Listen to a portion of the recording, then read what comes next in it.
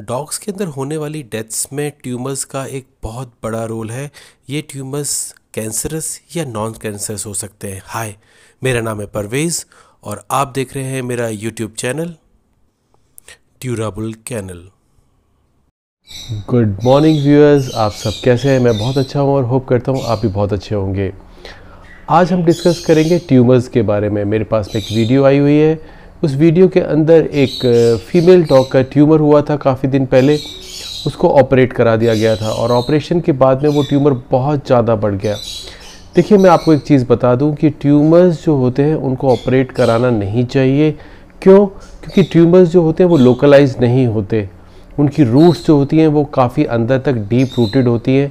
जब हम उन्हें कट करते हैं तो वो बहुत ही एग्रेसिवली ग्रो करना शुरू कर देते हैं। ट्यूमर्स को श्रिंक किया जा सकता है, केमोथेरेपी से, रेडियो थेरेपी से, इन सबसे श्रिंक किया जा सकता है। लेकिन उनको अगर आप कट करेंगे तो वो बहुत एग्रेसिवली बढ़ते हैं।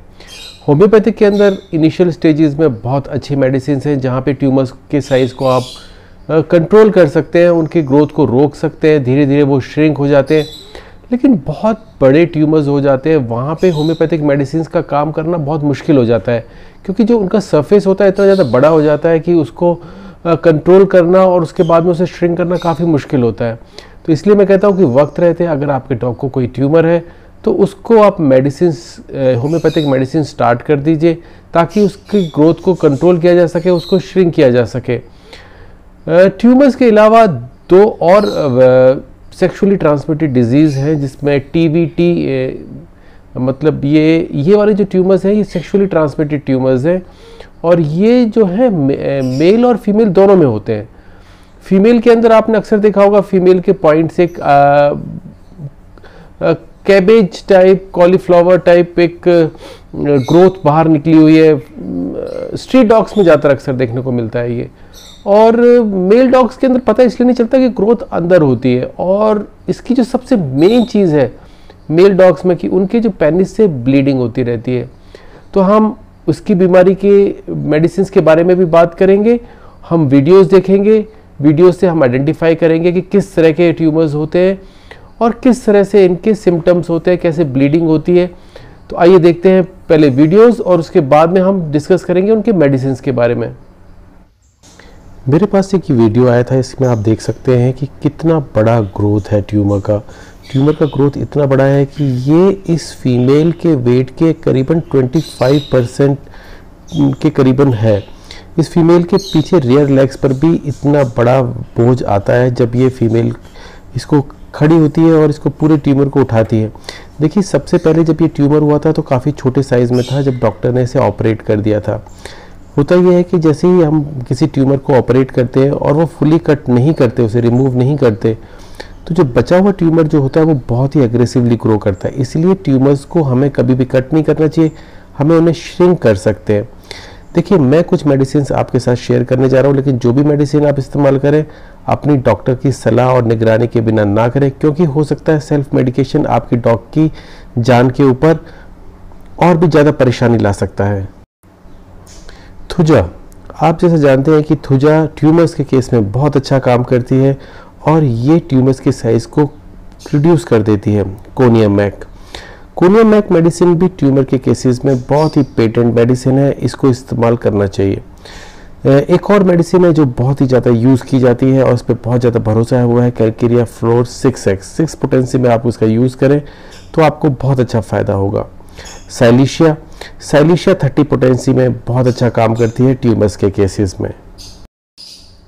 ये दूसरा केस मेरे पास आया था, इसके अंदर मेल डॉग के पेनिस से ब्लीडिंग हो रही है। आप देख सकते हैं कि किस तरह से अगर इसको ओपन किया जाए तो इसके अंदर से ब्लीडिंग की बूंदें धीरे धीरे गिर रही है। देखिए, यही सिम्टम्स होते हैं जिससे पता चलता है कि डॉग के अंदर ग्रोथ है। आप इसे फुल फुल्ली ओपन करेंगे तो आपको आखिरी में ग्रोथ दिखाई देगी। पेनिस की ग्रोथ, इसमें पेनिस में जो ग्रोथ होती है, वो पीछे की साइड में होती है, लेट पीछे की साइड में, जहाँ पे बॉल फॉर्मेशन होता है। ये एक फीमेल टीवीटी केस है इसके अंदर आप देख सकते हैं पॉइंट कितनी बड़ी होगी। एक्चुअली क्या है कि अंदर ट्यूमर जो, आप देख सकते हैं अंदर से कॉलीफ्लावर शेप का ट्यूमर है। ये जब अंदर ग्रो करता है तो अंदर पूरी जगह को इन्वेड कर लेता है।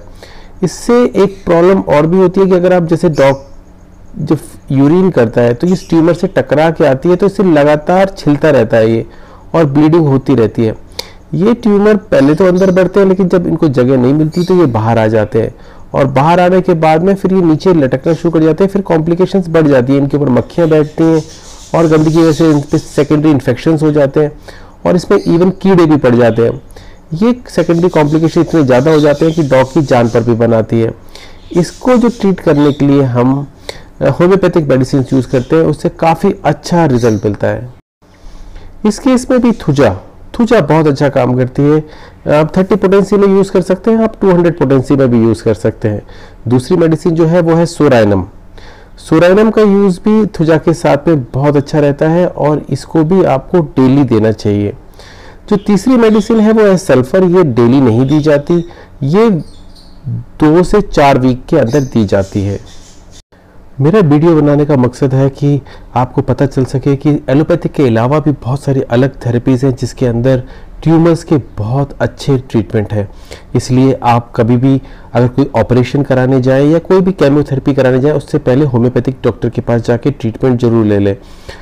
होप ये वीडियो आपको इन्फॉर्मेटिव लगा होगा। अगर आपको पसंद आए तो प्लीज़ इसे लाइक शेयर सब्सक्राइब कीजिए। Thank you for watching my channel have a good day